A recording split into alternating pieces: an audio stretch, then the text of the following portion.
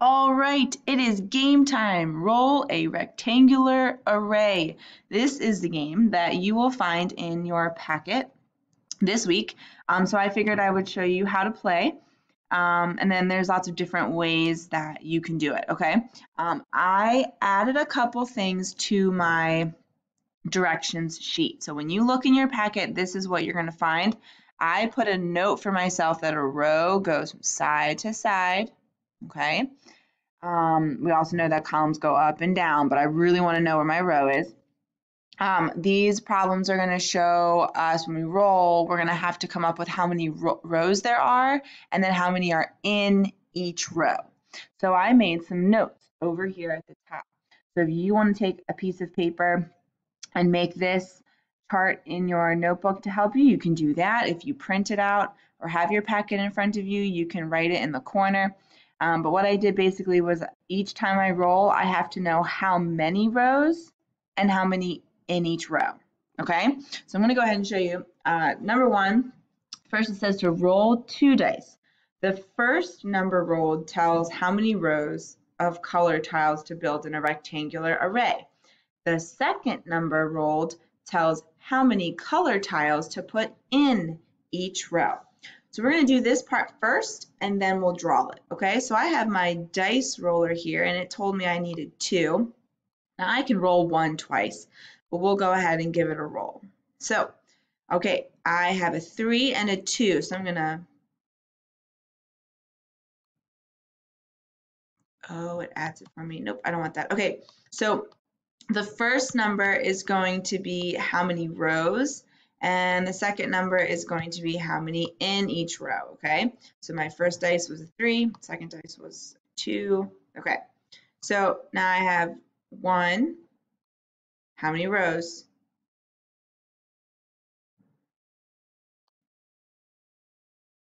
Three. So I'm gonna label my rows, one, two, three. And then in each row, I have one, two, one, two, one, two. Okay, so I chose to do mine that way. So then if I wanted to practice drawing, I know that I have a, a big rectangle like this, and I have one, two, three, four, five, six. Okay, and again, you can, this is takes us back to the last lesson we did, which was 2 plus 2 plus 2 equals 6, or 3 times 2 equals 6. Three groups of 2 equals 6. Okay, let's try this again. All right, so I'm going to have my dice roller. I'm going to roll the dice. Okay, so I have a 4 and a 6. So how many rows? I have 4, and in each row I have okay?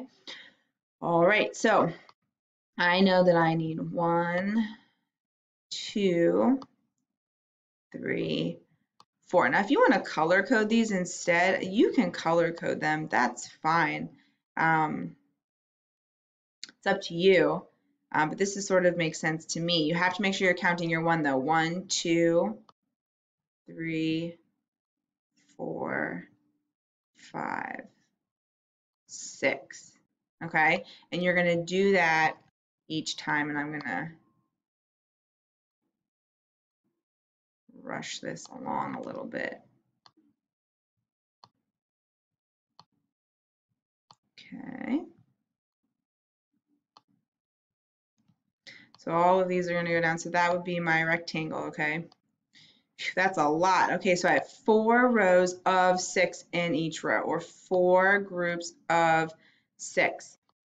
So I can go ahead and do six plus six plus six plus six, okay, which I know that six plus six is 12, six and six plus 12 equals 24, so it's 24 total, or I have four rows of six in each row, which gives me 24.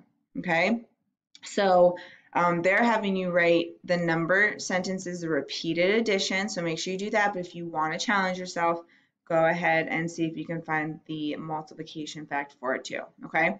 Um, and you can keep playing this over and over again um, and see all the different types of rectangles that you can draw you can create, okay? And you can use any manipulative. So you can use, again, you can use cereal, you can use um, coins, you can use little blocks, um, you can use your markers, you can color it, you can get graph paper, um, lots of things, beads, all kinds of stuff, okay? So go ahead, have fun, play with everyone in your house. All right, and I'll see you next time, guys. Bye.